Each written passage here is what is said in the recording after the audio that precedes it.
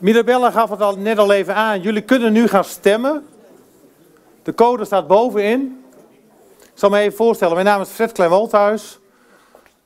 Van het waterschap Noorderzeilvest, maar ook eh, voorzitter van de COP. Ja? Oké.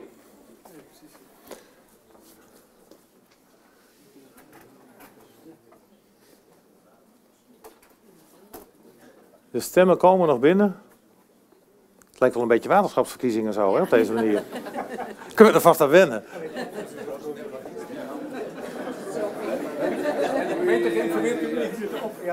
Misschien een idee, Harm, om op deze manier dat te gaan doen, of niet?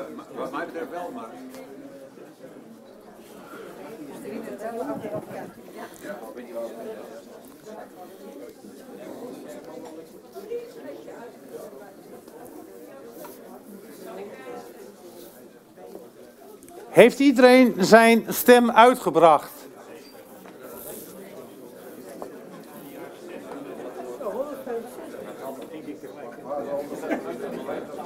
Wie, wie, wie kan goed rekenen? Hoeveel zitten we? Oh, 77. Mooi. Oké. Nou, eens even kijken. Bent u actief betrokken bij het project wat vandaag gepresenteerd is? Oh, er komen, daar ko- er komen nog een paar twijfelaars. maar dat is altijd zo, hè?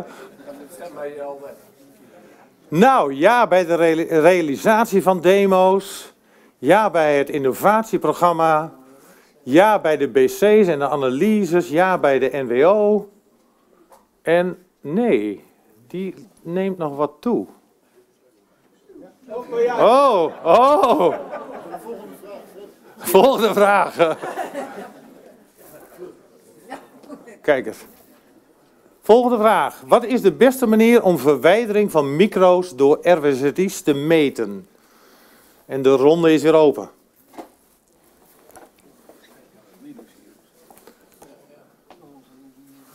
We hadden eerst nog bedacht om op een andere manier te gaan doen. Een beetje als de, de voorzitter van het lagerhuis met eh, rechts, links en eh, order. Maar ja, dat is zoiets specifieks. Beide. 82, nou, dat hebben we ook wel mooi.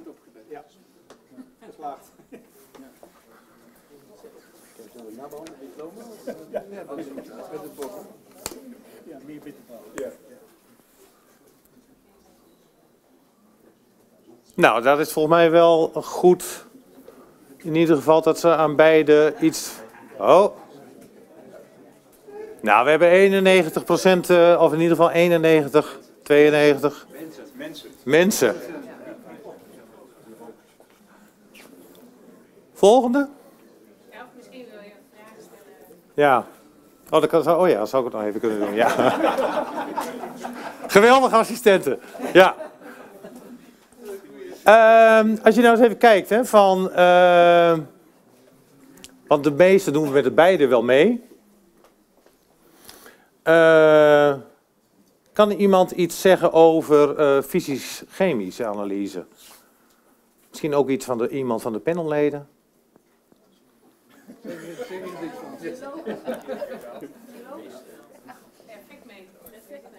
Ja.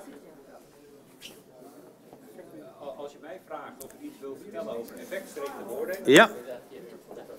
dan pak ik eerst de microfoon. Ja. Gaat ie aan? Het is heel gevaarlijk om mij te vragen om iets te vertellen over effectgerichte beoordeling, want dat doe ik al 25 jaar. Dus dan gaan we het niet in een half uurtje halen. Ik Dan zou het de uitdaging nu kunnen blij. zijn om het heel kort te houden. Ehm, wat ik in de workshop ook al zei, het, het doet mij deugd dat 60% eindelijk besluit om de zin uit de vierde nota dat we effectgerichte beoordeling gaan invoeren. Dat is een rapport uit 97. Dat we dat nu gaan doen. Dus ik ben heel blij. Dus jij bent, nou, moet eens kijken hoe kort als je het kunt houden. Geweldig. Is er iemand vanuit de zaal die daar misschien iets op eh, wil zeggen? Of zijn jullie allemaal al zo moe vandaag? Mark, Ja, ehm, ik heb, eh, wil je de microfoon? nee, dat gaat wel. Ik heb uh, Gert-Jan de Maat gevraagd, eh, die was daar namelijk vroeger bij betrokken, bij de totaal beoordeling. En ik heb ook gevraagd, waarom is dat destijds eigenlijk mislukt? Waarom is, daar, waarom is dat niet verder ingevoerd? En wat hij me daarover vertelde was ja, er is toen het doel gesteld om het in plaats van te gaan doen. En dat is nu nadrukkelijk niet de bedoeling. Het is niet de bedoeling om in plaats van fysisch-chemische metingen uh, alleen maar met effecten te kijken. Want het gaat, nou, wat, ook wat je over de of wat Mirabella zei, je moet vooral kijken voor, voor en na. En, dus het gaat over het een indicatie en daarna ga je weer verder zoeken. En volgens mij is dat heel belangrijk om, om wel vast te houden dat we ze dus allebei willen doen.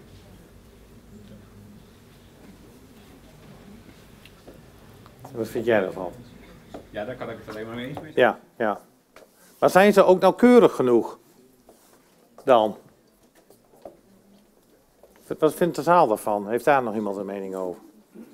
Nou, ja. Ja. Ik wil dat toch wel Ja. kwijt, want uh, die middelste categorie die is eigenlijk heel klein. En ik Ja. Vind die linker categorie uh, nog zo groot. Weet je, er zijn nog steeds mensen die denken dat je door gericht op een aantal componenten, en we hebben honderdduizenden chemische stoffen, dat je daarmee kunt kijken welke micro's er in, door, die, door die zuivering stromen. Dat is, zit nog steeds bij de mensen. En ik denk dat het daarom zo belangrijk is om die bio-effectmetingen toch te gaan doen. Dat is echt een must. Of ze echt precies helemaal goed zijn en of ze alles afdekken, Weet je, ik ben nou hartstikke blij dat ze echt honderdduizenden stoffen kunnen pakken en zichtbaar maken. Dus ik ben daar echt voor. Zouden we nog iets aan die beeldvorming kunnen doen? Dat, dat denk ik wel. En hoe zouden we dat kunnen gaan doen? Ja, zoals we nu hier bij elkaar zitten, is dat al een grote bijdrage, denk ik. Ja. Dit, zou, dit, zou, dit is een, een stap in de richting van om die beeldvorming wat helderder te krijgen. Ja. Ja, misschien is aanvullen. Het, het is Ja. ook heel erg afhankelijk wat het doel is. Hè. Kijk, ik zat zelf in de workshop over technologieontwikkeling. Met alleen effectmetingen kom je er niet met technologieontwikkeling. Dan wil je toch begrijpen wat er precies gebeurt. Welke stoffen wel verwijderd worden, welke stoffen niet verwijderd worden.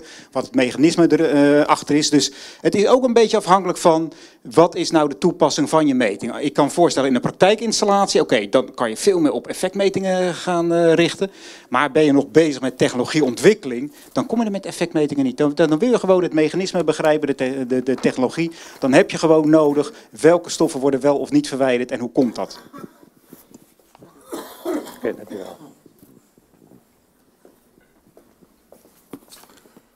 Volgende vraag. Welke techniek heeft je voorkeur voor de verwijdering van micro's uit afvalwater?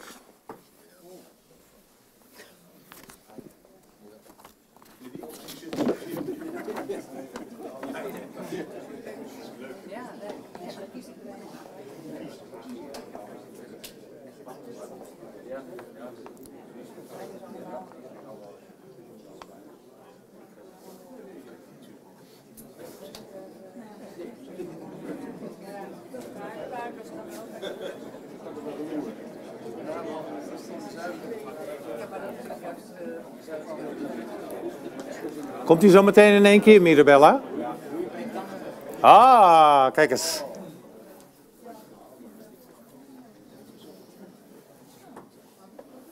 Zevenentachtig.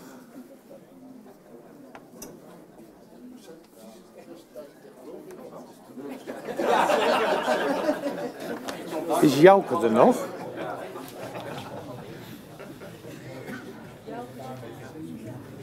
Ah, ja, Jouke.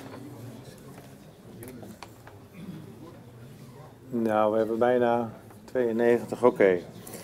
Ehm, ik heb hier even een vraag aan de workshopleiders, hè, want deze is natuurlijk bij een aantal geweest. Jouke zat erbij eh, bij eentje, volgens mij, hè? klopt. Ehm Ad en Jan-Peter. Wat zijn nou de belangrijkste kennisvragen die opgeborreld zijn tijdens jullie sessies? Oké, eerst even Jouke. Alsjeblieft. Ja, kennisvragen. Ik denk eh, een belangrijke die bij ons bij, bij oxidatie naar voren kwam, was uiteraard het be- bromide-bromaat verhaal. Dat was wel een belangrijke die naar voren kwam. Maar ook eentje die, die eigenlijk wel twee keer ook naar voren kwam, was het, eh, het energieverhaal. Het energieverbruik van, eh, van de techniek. Dat is ook wel een hele belangrijke kennisvraag. Oké. Heeft iemand daar vanuit de zaal nog een vraag over? Jouke zit hier nu met al zijn kennis. Nee? Eh, even kijken, Ad had daar ook volgens mij eh, een clubje. Ad. We hebben het over actief kool gehad. Eh, actief kool kun je zowel proces geïntegreerd toepassen ook en in nageschakelde technieken. Waar we denk ik over gediscussieerd hebben is van hoeveel kool moet je nou eigenlijk toepassen eh, om een bepaald rendement te halen. Het rendement stokt een beetje bij 70, 80 procent. Eh, maar er werd ook aangegeven als je gewoon meer doseert kom je ook tot rendementen nou ja, bijna als, eh, zo hoog als bij ozontoepassing. Ehm, een ander punt was van het kool. Ja, dat gaat, als je het proces geïntegreerd toepast, dan gaat het met het slip mee, de slipketen in. Als je het nageschakeld toepast, kun je het misschien schoonhouden, zeg maar. Kun je het misschien grotere kans tot regeneratie. En er waren nog een aantal hele interessante technieken, waarbij we het BAC-F-proces, of zo werd het genoemd, dat is eigenlijk een hele interessante techniek die in Emmen al een aantal jaren eh, succesvol bedreven is, waarbij je kool zeer langdurig actief kon, eh, kon houden, zeg maar, zonder eh, regeneratie. En dat was voor mij in ieder geval een grote eye-opener. En in Emmen zeg jij uit de puurwaterfabriek? Ja. Oké. Ja. Dus ja, een aantal vragen, maar ook een aantal grote kansen, denk ik, Ja. eh, die er uit de workshop zijn gekomen. En welke risico's zitten daar nog bij? Eh, risico's. ehm, ja, goed. eh, ja, meer slip. Hè? Ja. Dus dat is een risico. We- Slipverwerkingscapaciteit is niet elk jaar eh, eh, 100% beschikbaar, zeg maar. Ehm, Volgens mij eh, is dat een beetje een understatement, maar ja, Ehm, ik denk als je kijkt naar eh, ja, welk rendement wil je eigenlijk halen. Ja. Kijk, je moet niet gaan overdoseren. Dat is een hele slechte zaak.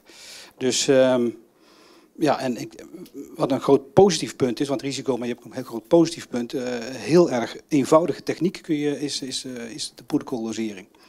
Dus wat dat betreft eh, zie ik grote kansen daarin. En nog iets toevoegen? Ja, en, en, en- er was ook een workshop over eh, nieuwe technologieën. Nou, dat bleek vooral eh, adsorptietechnologieën te zijn. En nou, als je ziet wat daar de uitdagingen zijn, eh, je hebt hele mooie nieuwe adsorbents, maar het zijn allemaal poedertjes. Ja, hoe pas je nou een poedertje toe in je zuivering? Hoe kan je van dat poeder korrels maken en kan je een heel effectieve reactor maken? Dat was een belangrijke eh, vraag. Ehm, die nieuwe adsorbentia hebben ook voordelen in de regeneratie en het hergebruiken van het materiaal. Maar er zitten ook nog wel een aantal haken en ogen was, eh, aan. Eén voorbeeld was, ja, je kan methanol gebruiken. Maar goed, wat doe je dan met dat materiaal weer als je het eenmaal gebruikt hebt? Eh, en een ander vraagstuk vond ik ook wel erg leuk, een invalshoek. Eh, we zaten heel erg aan de kant van nou, de technologie in de zuivering toepassen. Maar er waren ook twee alternatieven. Eentje in, de, in, in, in, in- een van de pitches en eentje werd in de zaal genoemd. Eh, je kan die adsorbentia ook toepassen, bijvoorbeeld zeolieten in wasmiddel. Dat je al in de transport van je afvalwater daar al binding van eh Ga je nog verder aan de voorkant zitten? Dus ga je meer aan de voorkant zitten.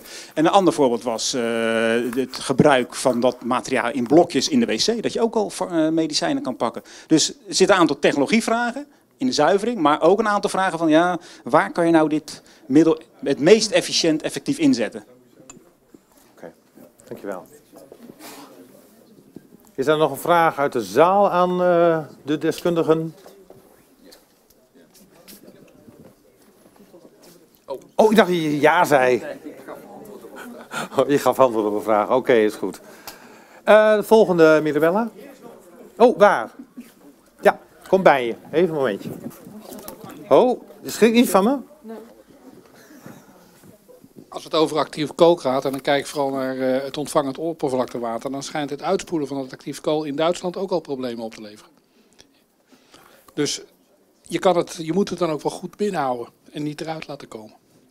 Want in de systemen waar het terecht komt, is het killing. Duidelijk. We zijn inmiddels naar de volgende vraag.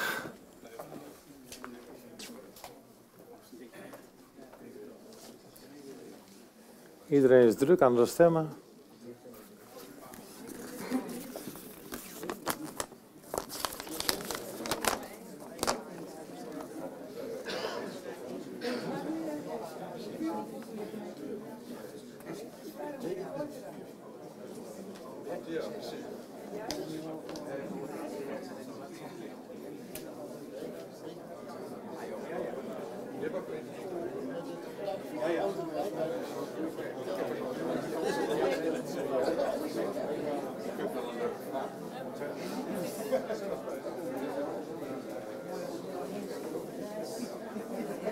Nou, wij hebben weer de 94 gehaald. Eh, weet niet, 28. En dan hebben we nanofiltratie, 23. En, oh, kijk eens, daar zit nog een twijfel. Ja, actief kool, ga nog even door. Nee. Dus eigenlijk, ja, ze, ja. Ze komen nog wel, 28, ja. Nanofiltratie. Kan iemand van jullie daar iets over vertellen? Ik wil wel iets over zeggen. Ja. Ehm, nou, nanofiltratie daar gelaten, maar die haalt natuurlijk nog meer uit dan die andere eh, technologieën, zou ik zeggen. Als je dan nu een technologie plaatst, zou ik niet alleen gaan voor die medicijnresten, maar pak een technologie waarmee je ook microplastics, nanodeeltjes, eh antibiotica-resistentie. Eh, Daar ging het in onze workshop ook even over als discussie, dat je die gelijk meeneemt. Dat we niet zeggen over drie jaar, oh ja verrek, moeten we dat er ook nog uithalen. Ja. En dan krijg je een hele trein. Er zijn nu technologieën zoals nanofiltratie, ehm, die met één klap gewoon een hele reeks eruit halen. Dus mijn voorkeur zou, eh, als ik hieruit moet kiezen, eh, geloof ik voor nanofiltratie gaan. Oké, ja. Dus jij bent het wel een beetje eens met de, wat hier aan stemming. Maar we hebben ook wel deskundigen. Ja, Paul, jongen, ik was je echt niet vergeten. Paul, jouw glazen bol. Wat ja, zegt ik, ik, ik vind het wel een leuk resultaat. Het Is wel, ehm, kijk, ik, ik ben het heel erg eens met, die, eh, met de meerderheid van 28, want eigenlijk weten we het nog niet. Hè? Nee. Het is op dit moment nog heel moeilijk om een voorkeur uit te spreken. En wat, ik, wat ik dan toch heel opvallend vind, is dat, dat eentje waar we nog niet zoveel van weten, hè, daar zijn maar acht stemmen. En één waar we eigenlijk ook nog heel weinig van weten, die heeft best heel veel stemmen, die 24. Het lijkt me alsof we iets wat we nu al als best available hebben betiteld, dat we dat al saai vinden. En dat we al heel snel naar die nanofiltratie gaan, waarvan we ook weten dat die in ieder geval duurder is dan die andere twee op dit moment. Dus ik vind het heel opmerkelijk dat mensen nu al een voorkeur uit kunnen spreken voor iets waarvan we nog niet weten hoe het precies gaat werken en wat het gaat kosten. Vind ik bijzonder. Het is een beetje net zoals als de verkiezingen. Hè? Soms weet je het niet en dan eh, stem je ergens op. Du- Dus dan gaat het hier ook, eh, Paul. Maar eigenlijk, jouw boodschap is van... eh, weet niet, hè? Dat, dat onderschrijf je wel. We- Eigenlijk is er nog zo weinig bekend. Dat is ook in alle onderzoeken van de afgelopen jaren ook wel gebleken. Nou, dat, dat komt er natuurlijk wel uit. Dan zie je wel dat er een voorkeur naar iets gaat. Maar daar zit nog veel onderzoek, eh, zal er nou vooraf moeten gaan. Ik zie Arjen ook knikken. Wacht even, ik geef je even de microfoon. Dan ben je verstaanbaar voor iedereen. Ruud Kamp. Ehm, ik mis hier iets heel erg in en dat is het vertrouwen in natuurlijke processen. We hebben het de hele tijd over actief slip. En dat is een geweldig voedselketenbenadering. En ehm, ik heb een ja- een jaar of dertig terug had ik een airlift reactor op de effluent van oxidatiesloot staan. Waar je na het actief slip een biofilmproces hebt met een hele lange verblijftijd. Zouden dat soort processen niet heel aantrekkelijk kunnen zijn om desnoods met co-metabolisme dat soort rare stofjes af te breken? Als ze toch al honger hebben, wie weet wat voor, eh, wat voor stoffen ze wel gaan opeten. En dan zit En- jij te denken ook aan waterharmonica's en... Dat denk ik wel, maar dat wilde ik natuurlijk niet zelf Nee, nee, nee, nee, maar daarom ben ik, ik, schiet hem even in. Dankjewel. Nee, maar het hoeft niet in het. Het kan ook gewoon. ehm, dit is een, ik ben ook technoloog van oorsprong. En ik vind technologische speeltjes vind ik geweldig. En ik ben er een beetje jaloers op. 20, 30 jaar geleden zou ik het echt heel leuk gevonden hebben. Maar ik ben nu wat afstandelijker geworden. Ik heb van de andere kant ook veel meer gezien. Biologen nemen mij niet meer serieus, want ze denken dat ik technoloog ben en andersom. Dus eigenlijk neemt niemand me meer serieus, dat ik hoor. Maar ik wil dus een oproep doen om toch even wat serieuzer naar de biologische kansen van dit soort processen te kijken. En niet alleen maar naar die energievretende, grondstofvretende andere processen. Ik vraag me bijvoorbeeld ook af waar al die actieve kool voor af moet, wat voor veen we daarvoor af moeten graven. Maar dat is een, iets heel anders. Ruud, dank voor deze toevoeging. Oh.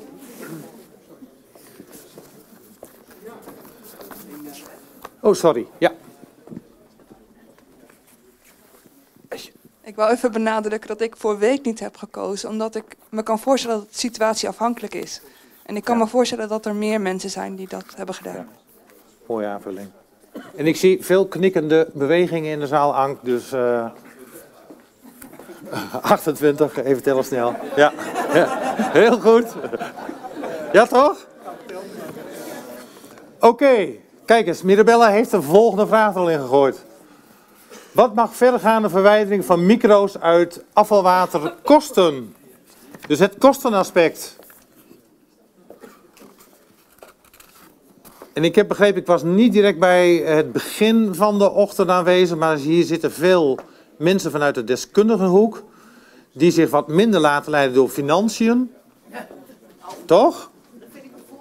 Oh, vind je dat een vooroordeel? Wacht eens, vertel. Nou ja, dan is het een sla- of je technoloog uitsluit dat hij ook met kosten rekening houdt. Ja, nee, dat is misschien wel weer wat zwart-wit. Maar er zit wel een kern van waarheid een beetje in, toch, wat ik zeg, of niet? Ja. Beetje realistisch zijn toch af en toe? Ko- Zo! Lijkt wel een beetje zo'n quizmaster bijna, hè? Al die ballen die, die knallen die kant op. Zo.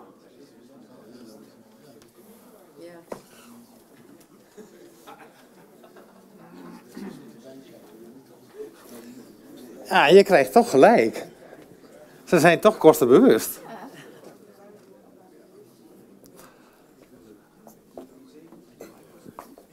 Jij wilt wat zeggen? Ja, ja, ja, ja, ja. ja. Ja, absoluut. Ik, ik zit er naar te kijken en ik ben toch wel een beetje verbaasd. Ik zie meer dan 30 euro per jaar, ga ik eventjes vanuit. Dus dat is, wat is het, 3,50 euro per, per maand. Zou ik het toch heel graag ook wel even in perspectief willen plaatsen. Want wat betalen we voor ons telefoonabonnement? Ja. Dus als je, hem- als je hem in perspectief plaatst, dan denk ik dat het een relatief gewoon laag bedrag is.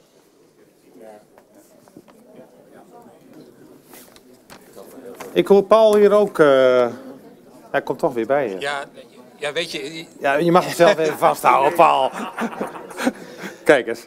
Weet je, ik, ik, ik, kies, ik ben dan, dan toch heel zuinig geweest. En ik kies die, die eerste, de laagste. Maar ik ben het wel helemaal met je eens, Jouke. Dat is gewoon waar. Weet je, we hebben daar altijd heel veel discussie over. En dat heeft- heeft ook alles te maken met de verkiezingen die weer op ons afkomen. Het is een politiek bestuurd orgaan. En ja, daar zijn dit soort dingen... Ja, dat heeft zo'n zware politieke lading. Maar eigenlijk, ja, weet je... Ik zou best bereid zijn... eh, ik moet voor drie, geloof ik. Dus eh, ja, kom maar op met die 100 euro. Ik betaal het wel extra, hoor. Echt wel. Harm. Ja, ik denk dat er een groot verschil is tussen een telefoonabonnement en eh, het abonnement op het waterschap. Het ene kan je opzeggen natuurlijk. En eh, daar is geen vrije keuze. Bij het waterschap heb je geen vrije keuze. Het is eh, belastinggeld, dus ik denk dat we daar heel serieus mee eh, om moeten gaan. En daar komt nog bij, eh, je kunt de euro ook in het milieu maar één keer investeren. En misschien zijn er wel veel slimmere dingen waar je mee kunt investeren, waarmee je een veel groter rendement haalt. Dus je moet niet per definitie eh, roepen van nou, het kost maar dur- 30 euro, eh, dus, eh Dus we. 95 procent. Want misschien kun je 15 euro van die 30 wel veel beter inzetten. Ja. En dan misschien moet je je geld inzet, inzetten op onderzoek en dat je uitkomt op 95% verwijdering voor 15 euro. Kijk. Maar wacht even, ik heb ook nog een bestuurder in de zaal zitten. Hoe kijkt die er naar?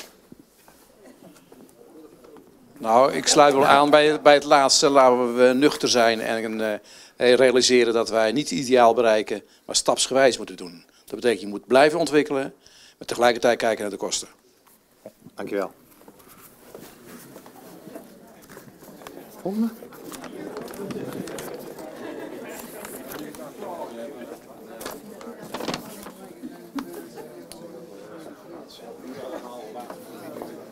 Dit is een glazen bol vraag. Ja.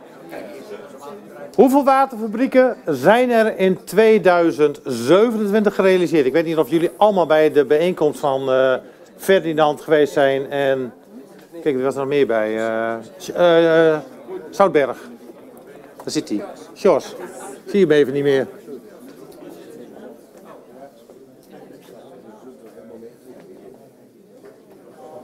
Geef je vast even de microfoon. of zo even dan, ja?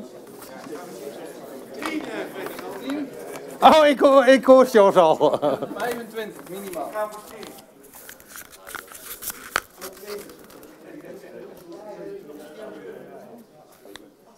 Negenentachtig. 90. Nou, twee. we hebben wel genoeg stemmen binnen nu. Ehm minder dan 10, 42, 23 zegt 10 tot 25, 25 tot 50. Meer dan 50. Nou, eh, ten eerste hoopgevend. We hebben al twee bestuurswisselingen. Ja. Er zitten al twee bestuurswisselingen in. Ferdinand, Ja, wat vind je hiervan? Ja, te gek. Vooral de laatste groep vind ik erg interessant. die, eh, die komen we daar bij de borrel nog wel even tegen. Dus die handen moeten even omhoog, dan drinken we er dadelijk vast een biertje op, zou ik zeggen. Ja. Heel goed. Ik zie hier al handen omhoog komen. Kijk, volgens mij, eh, als je naar de energie- en grondstoffenfabrieken kijkt bijvoorbeeld, hebben we in tien jaar tijd, eh, denk ik dat het er toch wel 15 of 20 zijn die je nu kunt tellen. En ik denk dat waterfabrieken eenvoudiger zijn te realiseren. Dat gaf je ook aan. Ehm, dus je moet, eh, volgens mij is het juiste antwoord is groter dan 50, denk ik. Ja. Iemand vanuit de zaal? Die, ja. Arjen. Ferdinand. Een waterfabriek hangt een beetje vanaf wat je een waterfabriek noemt. Kijk, een membraantje achter een RWZT hangen kan je ook een waterfabriek noemen. Dat is niet zo spannend. Ehm, maar waterfabrieken zijn eigenlijk natuurlijk. Waarom doe je dat? Omdat je ook een gebruiker van het water hebt. Dat is of een watersysteem, verdroging hebben we het over gehad. Of een industrie of een landbouwtoepassing hebben we het ook over gehad. Maar die moet je ook nog maar eens vinden. En die moet je overtuigen. Dus niet alleen maar een technisch vraagstuk, maar ook een gebruiksvraagstuk. Misschien wel zelfs een regelgevingsvraagstuk nog. Dat gaat niet zo snel. Dus in 2027, als we ons best doen, als we ons best doen gaan we naar die 10 toe. Hè, we hebben er eentje volgens mij, UPW Emmen. Die is ook heel mooi aan boord, aan, eh, in beeld gekomen vandaag. Maar dan zijn we nog wel even naar een waterfabriek. Ik doe er heel graag aan mee en dat weet je. Dat, dat doen we samen met heel veel partijen. Ehm, Ik ben daar echt een voorloper op wat mij betreft. Maar het is nog niet zo makkelijk te doen. En ik, het is dezelfde uitdaging als een energie- en grondstoffenfabriek. En daar zijn we ook nog niet klaar mee. Oh, sorry. Ja. Belangrijk om te noemen is, want er staat hier nu wel kleiner dan 10, maar het is ook goed om te realiseren dat er al wel zes hele mooie projecten zijn in Nederland. Hè, die dit nu al doen. Dus die 10 die gaan we sowieso voorbij. Eh, en en eh, als ik nu hoor de verhalen, hè, we hadden het verhaal over Delftland ook in onze eh, workshop, waar er meerdere bedrijven nu al aan de poort rammelen, zoals zij het dan zeiden. om hun water af te gaan nemen als nieuwe bron, hè, want grondwater niet meer kunnen gebruiken, dan wel drinkwater niet meer mogen inzetten. Denk ik dat het nog wel eens harder kan gaan dan, eh, je schetst. Maar goed, het blijft een glazen bol en eh 2027 hebben we het er weer over, denk ik. Ik denk ook, eh Arjen zegt ook van oké, hè, je moet een bepaalde ambitie hebben, maar wees ook realistisch. En hij is graag bereid om mee te werken. En dat doet hij al volgens mij op dit moment. Toch? Top. Hebben we nog vragen, Mirabella? Tuurlijk. Wat moeten we bereikt hebben in 2027? Einde KW, vergaande verwijdering van. En daar staan er een viertal. De ronde is geopend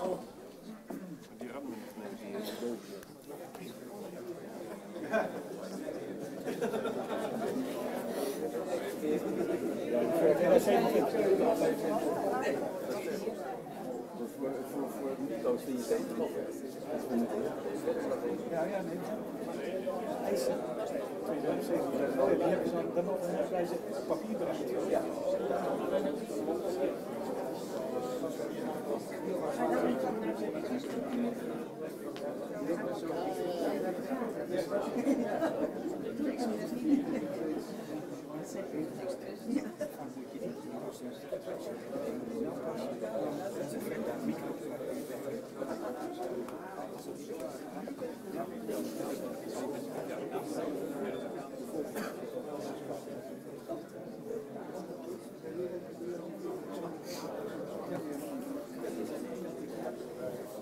Blijven we over de 90 steken? Dan stoppen we de stemmen. Eh eens even kijken. Organische micro's, dus eh, waaronder medicijnresten 43, nutriënten 6, 45. Nou, niet meer stemmen. Microplastics 8. Oh ja, hij schiet weer door. En zware metalen. Als je deze nou eens in relatie ziet met de kostenvraagstuk wat we hiervoor hadden. En ook de waterfabriek. Wie wil er eens op reageren vanuit de zaal? Mag ik eerst even reageren op het plaatje zelf? Want dat klopt gewoon niet helemaal. Want we hebben ook niet geprobeerd Europa om medicijnresten een prioritaire stof te noemen. Toen riep iedereen meteen, oh, we hebben via de trap nodig, dat kost Europa zoveel miljard, dat doet maar niet. Dus medicijnresten zijn voor de KRM nog wel geen stof wil, behalve via dat wat drinkwater dan meegenomen wordt. Nee. Maar voor normale oppervlakte verkiezingen worden microplastic en organisch niet als een meegenomen. Er hoeft niks medicijnresten. Oké. Je hebt gelijk. Als je het goed vindt, wil ik hem wel even laten staan om in ieder geval wel even een discussie te krijgen. Ja? Als je hem koppelt aan de KNW. Alleen het einde van de periode wordt Ja. Ja. Iemand anders, ja. Alsjeblieft. Kun je je naam Ja, ook even noemen? Ja, Caroline Moermond, RIVM. Ehm, twee opmerkingen. Eén op de, de laatste opmerking. Eh, inderdaad, geen medicijnresten op dit moment als prioritaire stof bij de KRW. Eh, weet wel dat diclofenac, eh dat daarover is besloten dat dat aan alle voorwaarden voldoet om prioritaire stof te worden.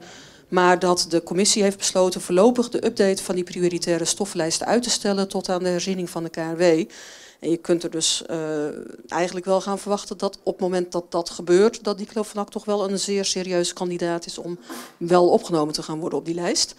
Ten tweede, wat ik hier echt ook wel mis, en het is vandaag wel eens nu al genoemd hoor, maar dat is antibioticaresistentie. Ehm, ik wil toch eigenlijk wel een pleidooi houden om bij alle pilots en demo's en dat soort dingen te kijken of het mogelijk is om in ieder geval ook eh, een vermindering van antibioticaresistentie in de monitoring mee te nemen, zodat daar ook kennis over opgedaan wordt met de technieken die eraan komen. Kun jij misschien wel even iets zeggen? Of niet? Ja? Eh, bij, de, bij de verschillende demo's eh, wordt natuurlijk heel veel eh, bijvangst gedaan. Eh, niet alleen naar de, de eh, gifstoffen, maar ook organische micro's. Maar er wordt natuurlijk ook met, eh, goed gekeken naar eh, wat, wat bereiken die technieken met mi- microplastics bijvoorbeeld en antibioticaresistentie. Dus dat zit er wel bij. Ik zit ook even naar de tijd te kijken. Wie heeft daar verder nog iets? Ja, Ellen. Eh, Je kan kijken naar combinatie van dingen en nutriënten verwijderen en tegelijkertijd je micro's. Maar het een hoeft het ander niet uit te sluiten. Co- eh, slimme combinatie zeg je ook. Absoluut. Is dit de laatste? Wat, Paul, eh, Paul die stelt hier nog een vraag. Wat heb ik vandaag gemist? Hij herhaalt de vraag. Ehm.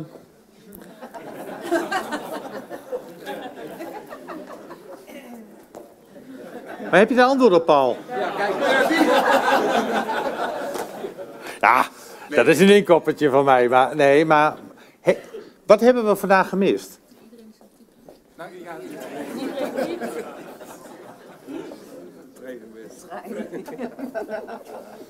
Weet je wat, wat vanmorgen eh, stelde Mark de vraag van hoeveel mensen zijn hier vanuit de zorgsector?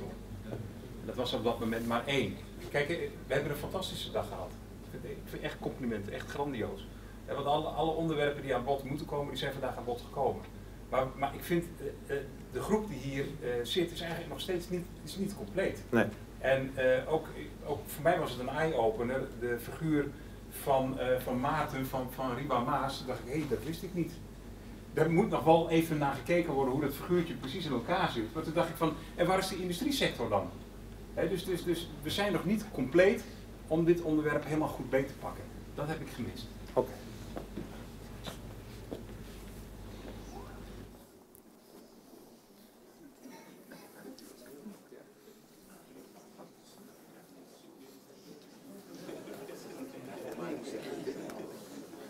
Ja, die blijft, hè? Die bitterballen, die komt er wel iedere keer uit. Ik zag daar net ook even een vinger. Wie stak hier net zijn vinger op? Ja.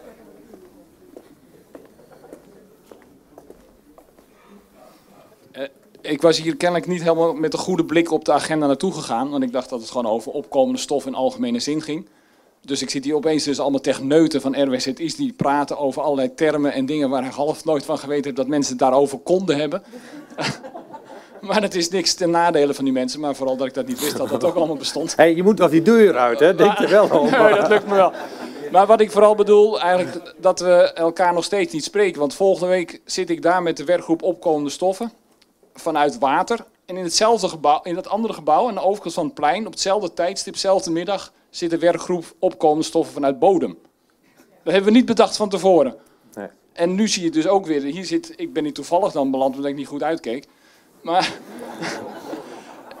het is dus kennelijk ook niet op gestuurd om hier een brede groep mensen te krijgen. Want nou ja, kennelijk komen er vooral eh zuiveringstechneuten op af. Terwijl je juist zou moeten zeggen, ook grondwater meten we middels eh, allerlei stoffen. Gewoon uh, worden in grondwater ook gemeten. Dus je zal het veel breder moeten bekijken dan alleen met techneuten of alleen maar met mensen vanuit water. Want anders lossen we het denk ik niet op. Nee. Dat is ook een beetje de stekking die Paul ook aangeeft. Hè?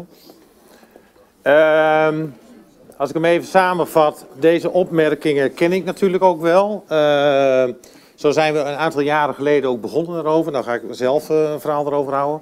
Moet ik ook niet doen. Maar uh, dit was ook iedere keer de crux om te kijken van hoe krijg je nou de partijen bij elkaar die hierin mee moeten denken. Want het is niet een zuiveringsprobleem, het is niet een watersysteemprobleem, maar het is een, of een, of, of een zorgprobleem. Uh, het ligt breder in de maatschappij. Dus, en dan mag je als voorzitter mag je soms ook even momenten pakken. Dat ben ik wel met jullie eens. Maar niet te lang. Nee. Je wilt naar huis, je wilt die bitterballen. Even kijken, nou, je ziet toch wel als je naar de grote kijkt, bitterballen, uh, niks. Uh, maar je ziet ze ook, de kleintjes moet je toch ook altijd naar kijken en dan komen die dingen wel. Industrie sector zie ik nog staan, opkomende stoffen. Ja, uh, wacht even, dan moet je niet... ben je me nou aan het plagen, Mirabella? Of, Zet het maar stop. Ja, je ziet, het komt er overal. Meer gesprek zie ik nog staan. Zorgsector. Wie betaalt? Watergebruik.